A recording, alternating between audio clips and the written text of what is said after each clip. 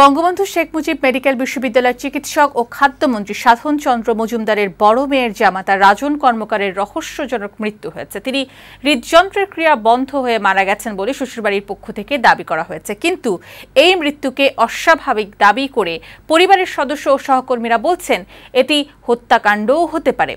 এদিকে রাজধানীর পল্লবীতে একটি ভবন থেকে শিল্পী ও সাংবাদিক শফিউল আলম রাজার মরদেহ উদ্ধার করা হয়েছে। তিনি হৃদযন্ত্রের ক্রিয়া বন্ধ হয়ে মারা গেছেন বলে প্রাথমিকভাবে ধারণা করছে পুলিশ। আশিক মাহমুদের প্রতিবেদন দেখুন। বঙ্গবন্ধু শেখ মুজিব মেডিকেল বিশ্ববিদ্যালয়ের ডেন্টাল বিভাগের সহকারী অধ্যাপক রাজন কর্মকার রাজধানীর ইন্দ্রিয়া রোডের একটি বাসায় স্ত্রীকে নিয়ে থাকতেন।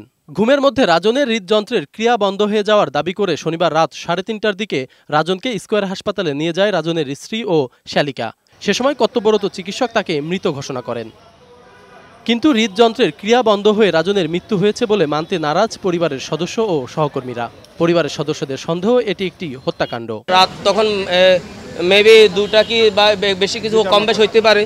তখন বলছিল তো কি কোথায় দেন আপনার ছেলে বা আপনার মা আপনি মা আমিও সুইসাইড করব আপনাদেরকেও দেখে ছাড়বো। সহকর্মী চিকিৎসকরা জানালেন রাজনের হার্টের কোনো সমস্যা ও ডায়াবেটিক্স ছিল না। সুতরাং ঘুমের মধ্যে মৃত্যুর কোনো কারণ নেই। এই মৃত্যুকে হত্যাকাণ্ড হিসেবে উল্লেখ করে এর বিচার চেয়ে হাসপাতালের সামনে বিক্ষোভ করেন সহকর্মী ও বন্ধুরা। আমরা সন্দেহান যে তাকে হত্যা করা হয়েছে। এর আগেও এই ধরনের ঘটনার দু একটা ইনসিডেন্টের ইতিহাস আছে। আমরা চাই এটা সুষ্ঠু তদন্ত হোক ন্যায় বিচারের স্বার্থে পোস্টমর্টম করে সঠিক তথ্য বেরিয়ে আসুক। তবে রাজনের ময়নাতদন্ত করা না করা নিয়ে সৃষ্টি হয় জটিলতা। রোববার দুপুরের দিকে শ্বশুরবাড়ির লোকজন স্বাভাবিক মৃত্যু দাবি করে ময়নাতদন্ত ছাড়াই মরদেহ হাসপাতাল থেকে নিয়ে যাওয়ার চেষ্টা করেন। কিন্তু ময়নাতদন্তের দাবিতে অনড় থাকেন রাজনের পরিবারের সদস্য ও সহকর্মীরা।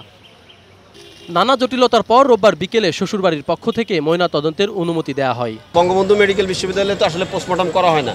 ঢাকা মেডিকেলে করা হয় এখন ওখানে যে পোস্টমর্টম করা হবে এটাতে ওনাদের কোনো আপত্তি নেই। সহকর্মীরা জানালেন রাজন এক বছর আগেও স্ত্রী কৃষ্ণা মজুমদারের নির্যাতনের শিকার হয়ে হাসপাতালে চিকিৎসাধীন ছিলেন। স্ত্রীর সাথে পারিবারিক কলহ থাকার কথাও জানালেন স্বজনেরা। তবে অভিযোগের বিষয়ে শ্বশুরবাড়ির কোনো বক্তব্য পাওয়া যায়নি।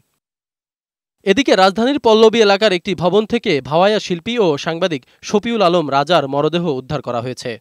রোববার বিকেলে রাজার গানের স্কুল কলতানের একটি কক্ষের ভেতর থেকে তার মরদেহ উদ্ধার করা হয়। পুলিশের ধারণা, হৃদযন্ত্রের ক্রিয়া বন্ধ হয়ে শফিউল আলম রাজার মৃত্যু হয়েছে। তিনি দৈনিক জনকণ্ঠ ও যুগান্তর সহ বিভিন্ন গণমাধ্যমে কাজ করেছেন। আশিক মাহমুদ, বৈশাখী সংবাদ, ঢাকা।